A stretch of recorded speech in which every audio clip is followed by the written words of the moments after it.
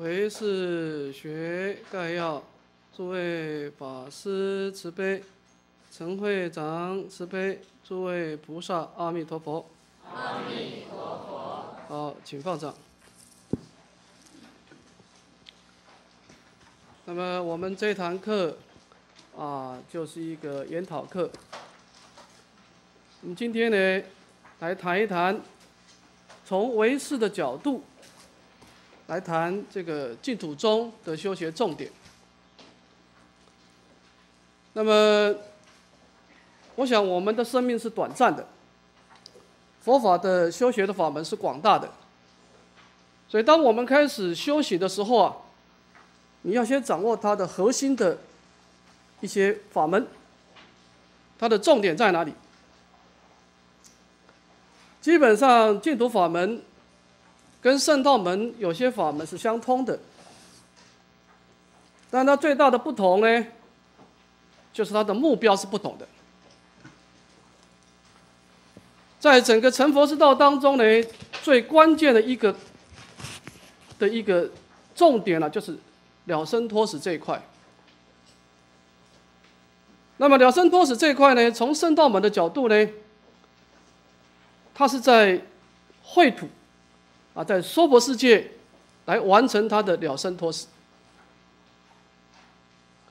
那么净土中的修学者呢，他是照净土去了生脱死。所以，我们虽然我们最后的目标，这个成佛的目标是一样，但是过程是不一样的。就是你了生死的地方，就决定你今天修行的方向。也就是说，我们有两个选择：你选择在娑婆世界了生死；第二个，你选择在净土了生死。啊，这两个是不同的。那么，当然，如果这两种选择啊，在正法时代、相法时代都没有太大差别。但是到了末法时代，这个问题就比较复杂了，因为你离离佛的时间越来越远了，去佛久远。那么我们离开佛寺的时间越久的时候呢，会发现了两个状况：第一个魔强，第二个法弱，就是这个干扰我们的因素越来越多了。第二个，我们接受佛法的这种力量、时间、因缘越来越少了，就是这个世界上宣扬佛法的因缘越来越少。所以在末法时代，如果我们选择在娑婆世界了生死啊，你要面对三个问题。第一个。障碍太大，在末法时间、末法时代的修行啊，有四个字是很重要，叫做内忧外患。当你在娑婆世界得果报的时候，你内有烦恼的干扰，你经常打妄想，这个你没办法控制的。妄想打久了就产生烦恼了，因为这妄想会让你产生对立。我向着这样的对一个人一旦对立，要么就是喜欢，要么就是讨厌，两种情况。所以你经常打妄想的结果呢，就很容易让你结成一种烦恼。这个对你修行是一种障碍，内忧。第二个来自于外境的刺激太大。如果这个世界上大家都放逸，你就很难修行了。因为它形成一个强大的共业。套一句印光大师说的话：“这个鱼想要往前走，但是它那个溺水的力量太大了。”所以，我们每天在佛堂里面做功课啊，离开佛堂以后，接触外在的环境啊，基本上顶多把我们佛堂的功德啊抵消掉而已。所以，每天都在抵消东西，我们很难保持进步，因为它来自于逆境太大。所以在娑婆世界的修行啊。你必须要面对内忧外患，而这个是不可避免的。啊，第二个，时间太短。我们娑婆世界的果报体给我们的寿命太短了，扣掉我们的啊日常的生活的耗损，你剩下的时间太短了。你没有足够的时间去处理你无量劫来留下的问题，这是第二个。第三个，你不得相续，这是一个非常严重的问题。就是说，我们死亡到来的时候，我们到下一个果报体投胎的时候，你不能马上把你今生的修行啊，把它累积起来，就是一加一不能等于二。这个，当我们面临死亡的时候啊，其实一个人善根最强的时候是晚年的时候。你的修行，你对人生的体悟，对佛法道理的理解，是最巅峰的时代。但是你死掉以后，你在来生得一个果报的时候，你要经过一段摸索期，叫做隔音之谜，你不能马上把前生的善根启发起来。所以死亡对我们的伤害太厉害，就是说，它中断了我们前生跟来生的一种相续的力量。所以，个人一加一不等于二，啊，所以在娑婆世界的修行呢，它有三大困难要面对。第一个，来自于内外的障碍太大。虽然我们不断的努力，但是障碍太大呢，往往把我们冲回原点。所以在娑婆世界，你经常有挫折感。那么第二个时间太短，第三个不得相续，啊，所以到了末法时代啊，选择到净土去啊，这是一个相对的比较好的选择了。因为这个众生已经形成一个非常不好的共业了，这个磁场你改变不了众生了，你改变不了这个世界，最后是世界改变了你。啊所以选择暂时离开，这个是菩萨不得已的选择了，啊。那么你选择到净土去，这就面对一个问题了，就是你必须要跟佛陀感应道教，没有人能够离开佛力的摄受，凭你的力量到净土去的，不可能。所有人到净土去，只有一种可能，就是法身菩萨以前的众生啊，到净土去只有一种可能，就是佛力的摄受。所以来自佛陀的力量，这是非常重要的。我们没有一个人有力量，凭你的力量到净土去，没有一个人。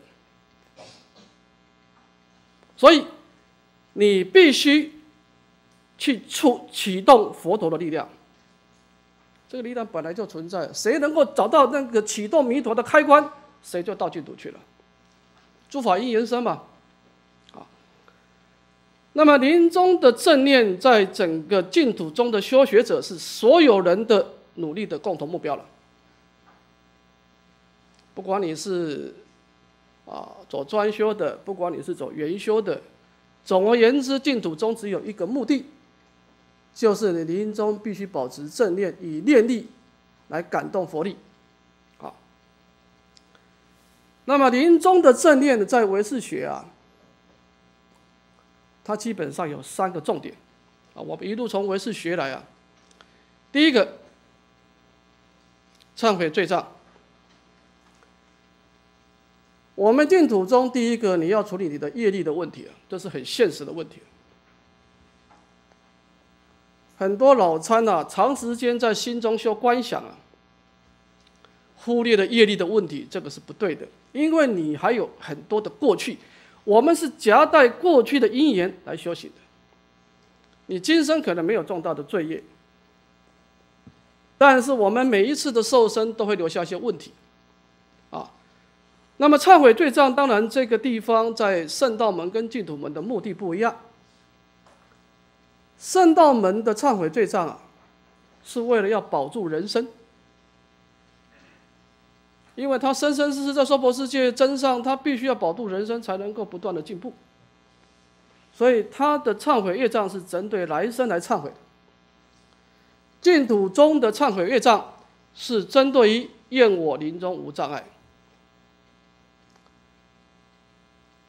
我们临命中要提起正念，已经要面对心中很多的妄想的干扰。你绝对不允许在临终的时候业障起现前，否则你根本没办法做了。如果业力再来干扰你，你一点办法都没有了。啊，我们不能要求说啊，临终的时候所有的善业起现行来帮助你，这个可遇不可求。起码他不要来障碍你。啊所以有鉴于此呢，净土中的人必须要透过忏悔、皈依、发愿，把重大的罪业铲除，让它沉淀下来。这是你要做的第一件事情，先处理你无始劫来的杀盗淫妄的重大业障。啊，这个是为临终的做的第一件准备工作。当然要以弘一大师跟偶一大师的标准啊，忏悔业障的工作是要满一年，加行满一年，啊，你要有一年的时间呢专修忏悔，啊，然后呢，当然这个忏悔当中还包括皈依，啊，不是说你在佛前发落一下就可以了，你要有一个法门，你必须有佛法身的力量啊，你要有一个八十八佛。或者大悲忏，或者拜阿弥陀佛，你必须某种程度有三宝的加持，才能够做到的。所以你的皈依很重要。第三个发愿，你要对未来要永断相续，持戒发愿永不再犯啊。那么这个是我们在临终的正念第一个要做的事情，你必须找出时间，好好的做这个功课，忏悔业障的功课啊。第二个就是衣冠发愿，没有一个人往生是临终才想到去哪里的，不可能。所有往生的人，他就早就知道他要去哪里，一定要先有一个人生的规划。你不能到临终才决定要到净土去，你不可能做到的。思想的改变，一般人啊，立根人不讲了哈。这种顿修顿悟的，绝大部分人的思想改变都是点点滴滴的，就像一棵树，你要把它从东边把它搬到西边去啊，那是慢慢慢慢的搬动的。我们无量劫来会在娑婆世界得果报，就是因为我们对娑婆世界是有贪爱的。所以，几乎所有的人，几乎所有人，你的思想是要修正的。正常人是不可能往生的，正常人，除非你是大善根的，你根本不需要晋升修行，你佛号提起来就马上往生的人，这个人前身是大善根的，他前身修的很好了，他本来前身就该走的，一时的糊涂，所以他今生对他来说，他有没有修，对他影响不大。但这个是特例，正常人你要往生之前，你的思想是要调整的，你没有调整，你是往生不了。正常人，所以你不断的在佛堂当中的思维观察，慢慢慢慢调整你的心态，从贪念说婆，然后把它转成心求极乐，就是思想的改造。你要做的第二件事情，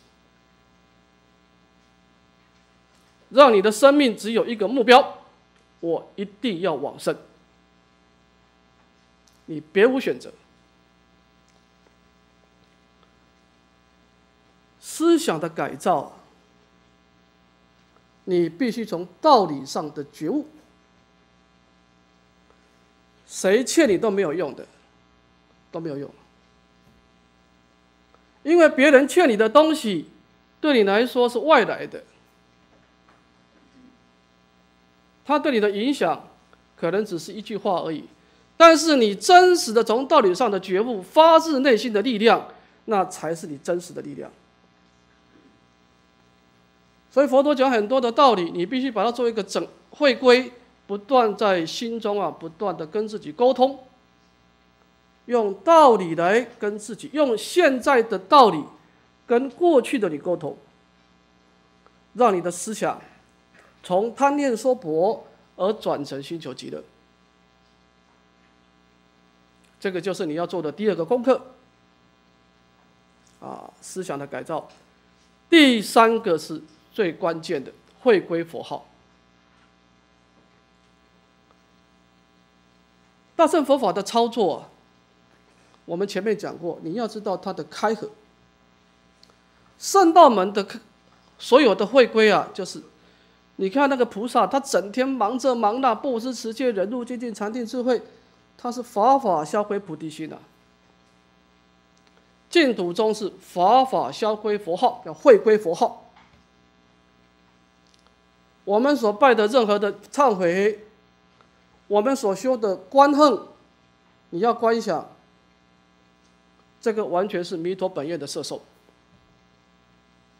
回归到这句佛号，就是你要告诉你自己，有这句佛号，我一定可以往生。我们在发愿的阶段呢，是我一定要往生。当你回归佛号的时候，你的从我一定要往生提升到我一定可以往生。所以，从这个净从唯识的角度啊，我们净土中啊，你有志于追求临终正念，要做三块：第一个忏悔业障；第二个衣冠发愿；第三个会归佛号。我们先把这个净土中的修学啊做一个走向说明，我们待会再来回答个别的问题啊。那么这个地方大家有没有问题？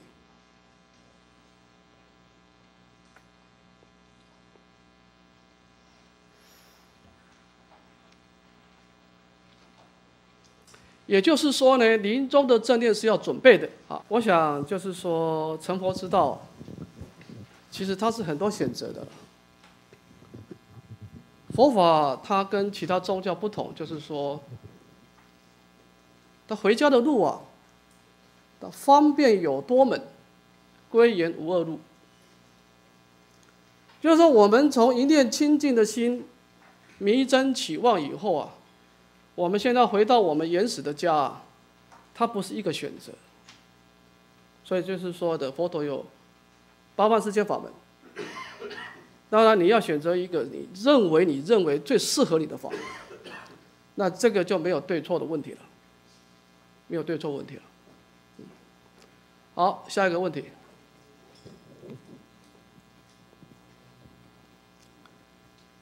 净土中的正念呢？我再强调一次，它不是偶然出现的，它是要刻意去栽培的，因为你没有这种正念，就是说，它不是你原来的东西。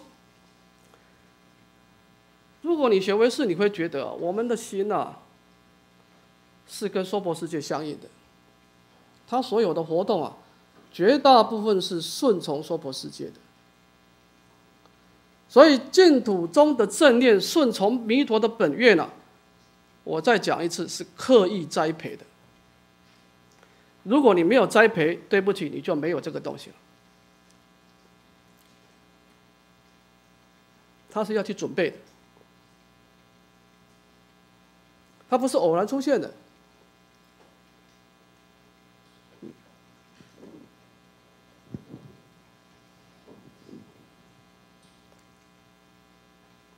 哎，请说。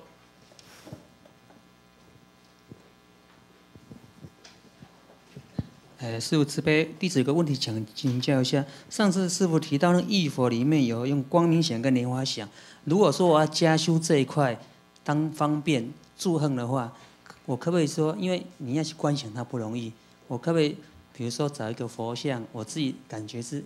有人在那边，然后每天看着他，就有时候这样兼修的话，这样是可以比较容易去忆佛。要不然的话，要观想对对对，但是你你在你在观佛像的时候啊，你要先离相，然后再观相，就是你不能太执着。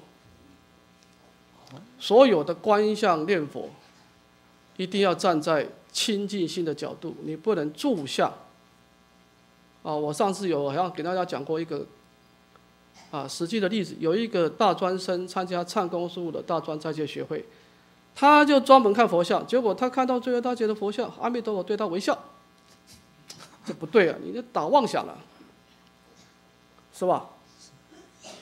我们在观想的时候啊，一一定记得一定是要借相修心，修你的往生的心，就是说这个相状本身只是让你借来用的，它没有太大意义。借相修愿力，借相修你的信心，所以你要往心中去会，而不是注意它的相状有什么变化。所以师傅的意思是说，比如说我们在拜佛看的佛像，就要回归到自己用般若去观想，它这个东西是功德，要回归菩提心，用这样子来转。回归到你的信愿，你的深信切愿慈悯，回归这句佛号。是那师傅第一个问题我请教一下，就是那个师傅有那个楞严经有提到，那个就是它的根跟势是一个往内归就是不生灭，往外就是攀岩。那这个原理在哪个地方？可我简单提一下。因为往内的话，往内那不是跟唯识一样，我是往内观嘛，对不对？也是一样。那往外就是攀岩。那这样子它的差别是说，我就是不外会受到外境的影响，因为是这这样哈，你往外是接触到相状，它是生命的结果了；往内看到的是佛法的真理，对不对？是，那是道。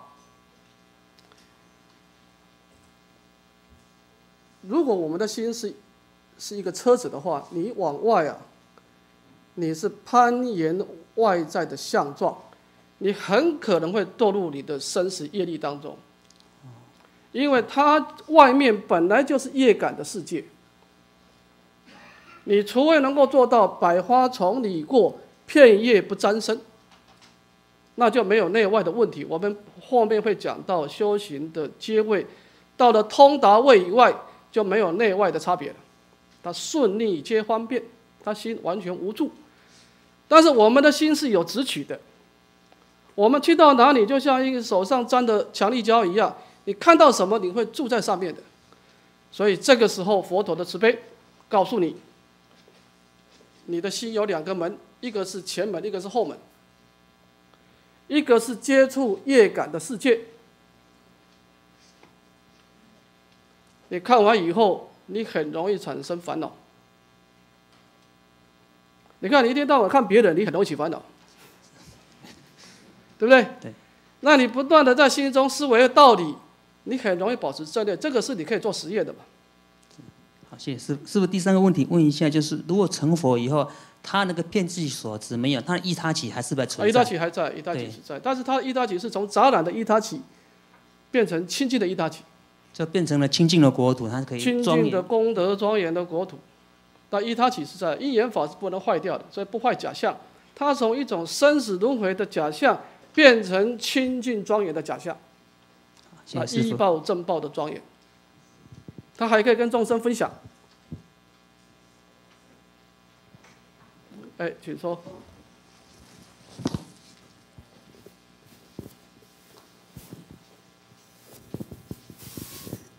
师父慈悲，哎，刚刚师父说，哎，我们要调整思想哦。那，哎，我我的意思就是说，我们身处于娑婆世界，那要远离娑婆世界这一块，我们比较容易做得到。那星球结论，啊，因为娑婆很苦嘛，那就比较容易，比较容易远离那是你的。生命体会。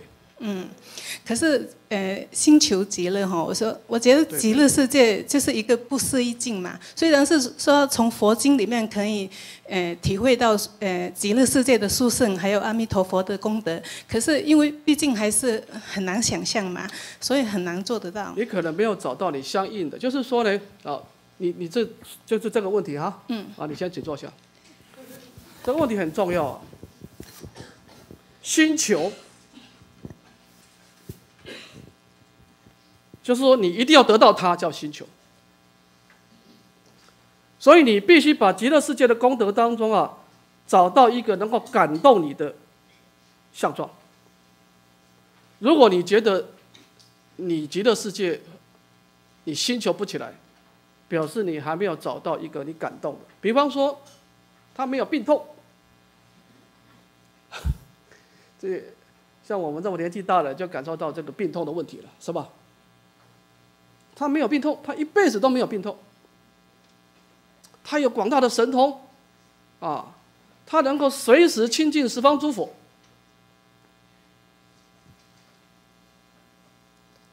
他随时能够随愿闻法。我们说不是要听佛法，不是很简单的，诸位。所以你你你必须呢，把极乐世界的所有的阿弥陀经、无量寿经、观经，把它功德整理一下，就哪些因缘能够感动他的，先找出来。因为因为阿弥陀佛是为所有众生设计这个国土啊，他不知道哪一个因缘会感动你啊，是吧？所以你这个星球极乐，你要怎么个人化呢？就是你要先看看哦，阿弥陀经讲到极极乐功德是这一块。无量寿经它偏重在医报的庄严讲的多一点，啊，阿弥陀经的正报的功德讲的多一点，你要把它所有的净土的经论全部找出来，只要是佛说的都找出来，观经也找出来，你要找出一些能够感动你、能够说服你往生的条件找出来，这个很重要。如果你对极乐世界完全没有感动，你就很难寻求极乐了，这个不能勉强。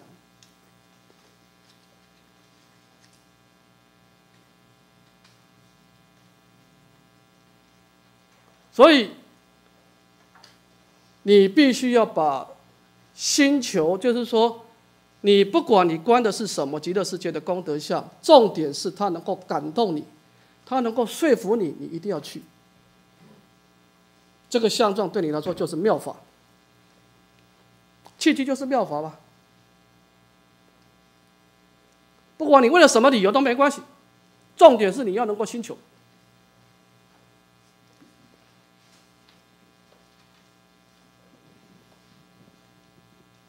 如果你还现在你现在对极乐世界的功德还没有一个感动你的，那对不起，你还要做功课了。你一定还没有找到阿弥陀佛发的五劫的时间去思考这个国土，它是一个很多元化的国土，它是可能满，它一定是有把握满足所有众生的需求，他才敢把这个国土推出来。所以你还没有找，你没有找到啊，一定是你还没有找到，不可能没有，一定有的。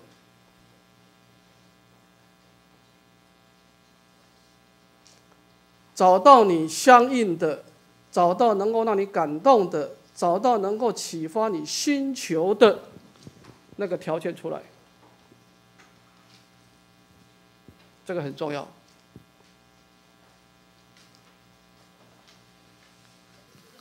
所以不断的学习很重要，因为你我们的关照只有透过学习，因为佛的世界。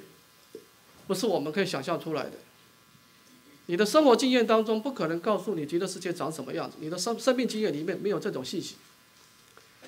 你的生命经验有可能会告诉你说，博世界是痛苦的，就刚刚这位居士说的，这个我同意，但是不全面。我再讲一次哈，不能靠生命经验来当做你生命所有的引导，不可以。要从道理上的理解。来发愿。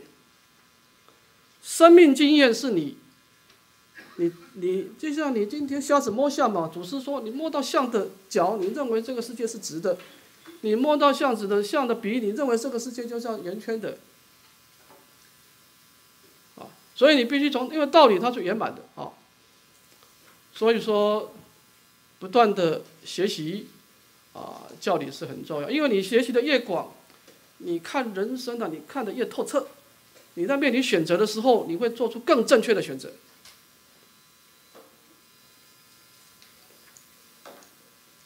好，我们来看看下面的个别的问题啊。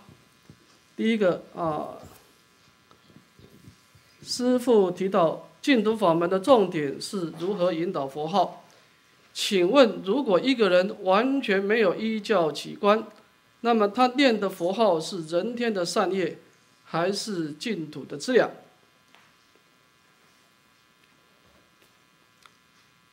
当我们提起一句佛号的时候啊，从净土中的角度有两个要求：第一个专注力，第二个就是关照力。你要能够安住佛号，引导佛号。引导佛号比安住佛号更难，因为安住佛号只是一种事修，你只要听得到你的声音就可以了。那么引导佛号就考验你的智慧的水平了，就是你是怎么想的。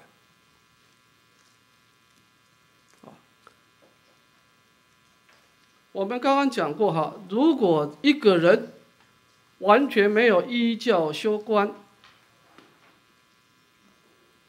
那么，如果他可以往生啊，只有一种情况：这个人根力遮清，大乘三根深厚，烦恼妄想天生轻薄，所以他今生的思想不太需要有太多时间的修正。也就是说，他前生已经修的差不多了，他这棵树已经往西方倾倒，所以他今生不需要太多的去做一些调整。他就自然能够往生，这种人是极少数的，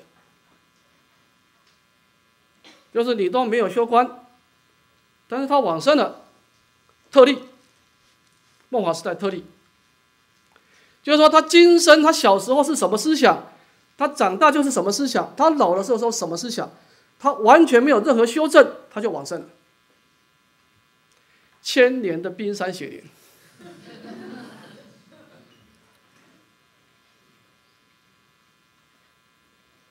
六祖大师就是这样子了。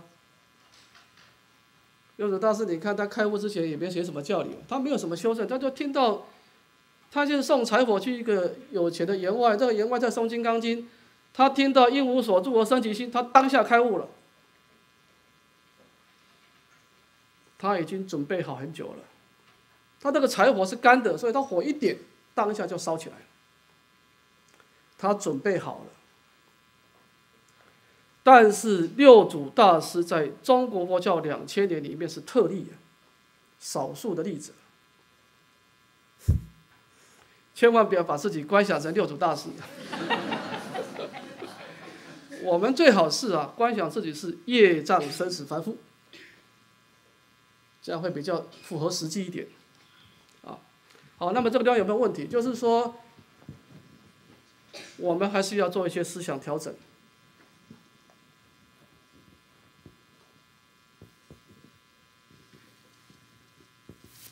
哎，请说。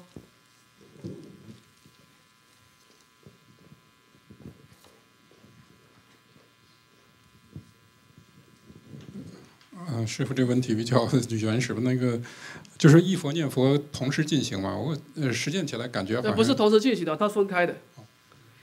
因为你这个待会我们会讲到，你你观想的时候要把佛号放下。念佛的时候就行其解决，专心念佛，专心听声音。这两个一开始是分开的，但是后半段会结合在一起。刚开始修的时候是分开的，因为你有分别跟无分，一个是专注是无分别处，一个是有分别处，这两个是矛盾的，初学是矛盾，所以要分开。啊，专注力跟关照力，忆佛念佛一开始是分开修的。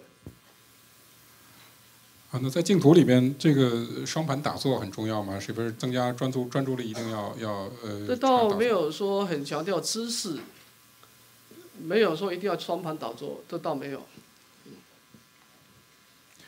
那就是还一个就是，那那如果打坐的时候腿很痛的话，这个是消夜障吗？还是？那不是消夜障，那是你筋骨不够柔软，这跟业障没有关系。我们不能把所有事都回归到业障。哎，请说。后面那个。师父慈悲，呃，我请教一下，我们要怎么样分别我们的念的佛号是空洞的，还是转向万佛庄严？好，请坐。啊，你提起佛号的时候，你心中要两个作意很清很重要。第一个，我一定要往生；第二个，我一定可以往生。它是这两个作意是这个这这是这个这这两种作意啊，这两个马车啊在引导这个佛号。你看很多人，他是他他肚子痛，他就念阿弥陀佛，对不对？肚子不痛，他就不念了，这个是空洞的佛号。你这个佛号完全随外境而转，当你有需要的时候，你才想到佛号，所以你这个作意啊，完全是由相状的刺激啊，这你这个作意是着相的作意。我们前面讲过啊，作意要离相作意。你不能把佛号用来处理你今生的问题而已啊，诸位。那这个阿弥陀佛设计这个佛号对你来说太可惜了。这个阿弥陀佛花了那么长的时间创造这个佛号，结果你是用来处理你今生的问题，太可惜了。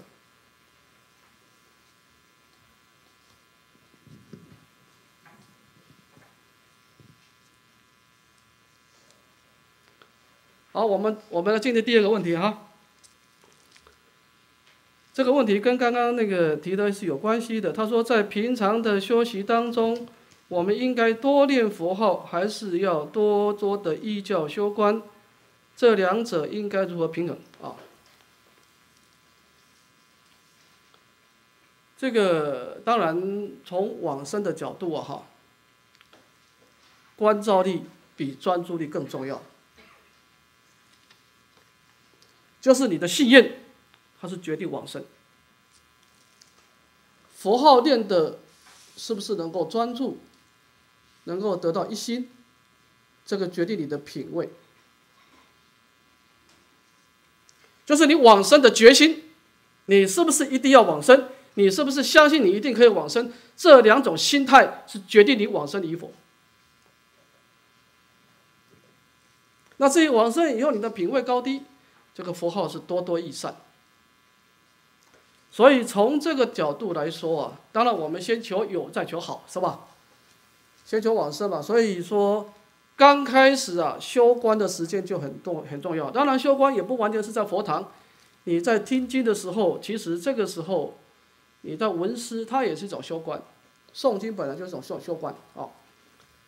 刚开始的比例啊，我个人的体会哈，要一半一半。关的时间要多一点，等到你修行上路了，你的思想的方向已经确定了，这个时候你把关的时间可以少一点，持名的时间可以到七分，修观可以三分，佛号都可以慢慢增加了。先确定方向，再增加你的动力。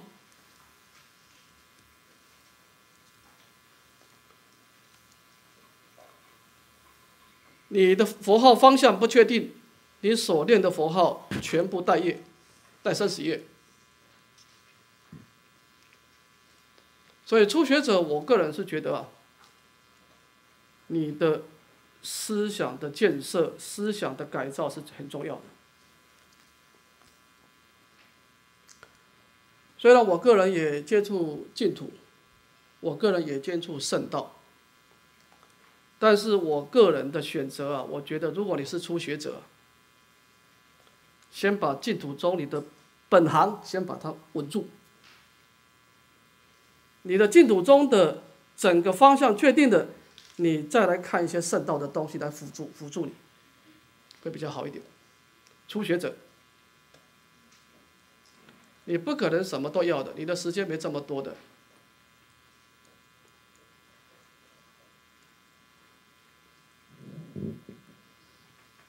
所以我们刚开始修关的时间要多一点。等到你人生的规划已经明确了你很确定你来生不能在娑婆世界投胎了你一定要到净土去了这个时候你就可以把符号慢慢增加了。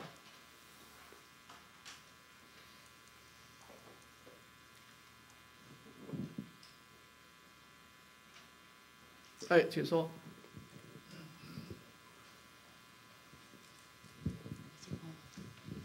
师傅吉祥，请啊、请师傅开开示啊、这里讲观照力啊、刚才师傅提的是观想，是不是？我们是要观想相，还是观照法？这里讲就是说师师傅提到说引导佛号啊，我们要专注力，要观啊、观照力。那这里的观照我就不懂了，是好，你问题问得非常好，请坐。谢谢。法，它是所有的佛法。其实法它有两块，一个是空性，一个是缘起，对不对？空性它是无相的，缘起它一定有相状，可能是娑婆世界的杂染相，也可能是极乐世界的清净相。缘起一定带相状。净土中是偏重在有相观，偏重。我们下一堂课会讲到净土跟圣道的结合，它也修空观，但是它是兼修。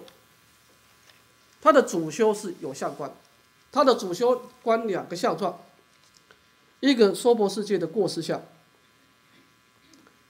你把娑娑婆世界的过失全部列出来，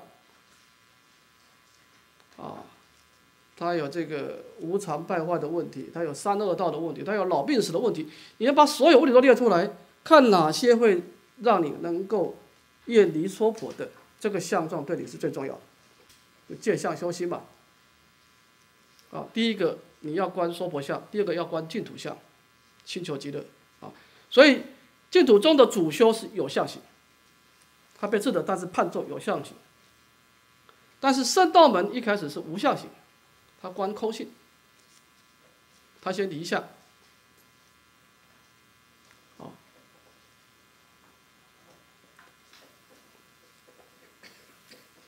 净土中，它是一个比较用对比的方式。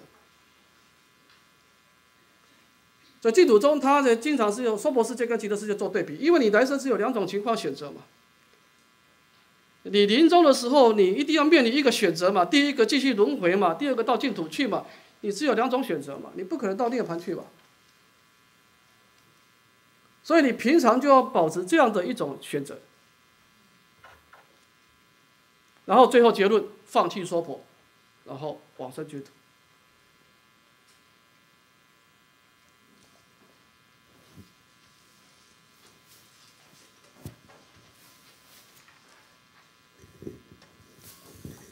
师父慈悲，呃，弟子想问，呃，如果念佛的时候觉得这个佛号的，就是引导到极乐世界这一部分做的好像不太好的话，还不，就是这个佛号念起来没有这种味道的话，是不是代表，呃，在光想方面还做的不够，应该把多放多一点时间在这一部分？对对对，你就是说你心愿愿离娑婆够了，你心求极的不够。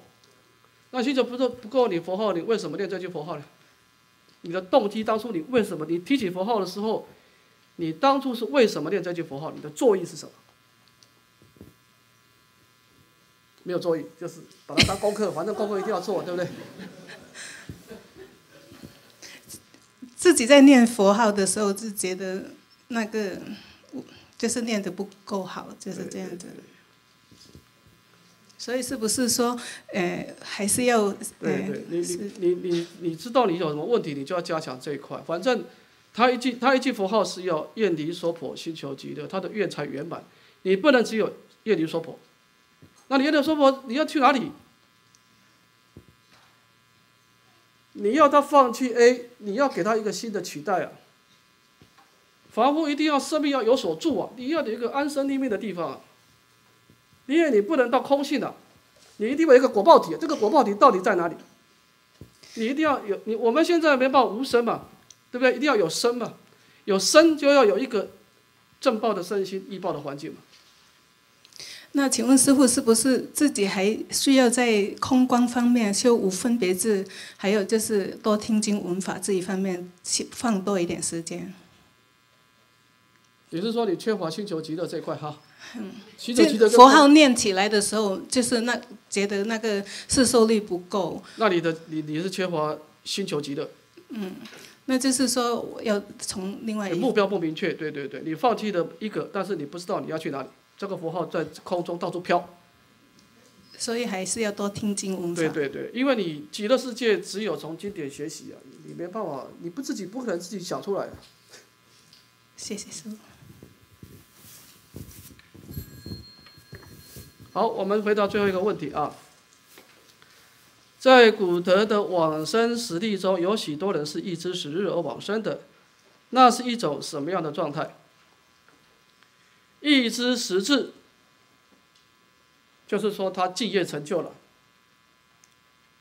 这种是可遇不可求的。就是说，这个人的心呐、他已经明确的往西方极乐世界倾倒了。所以他临终不管遇到什么情况，乃至于发生车祸，乃至于死于非命，他一定可以往生的。这个树你只要随时砍断，它只有一种方向。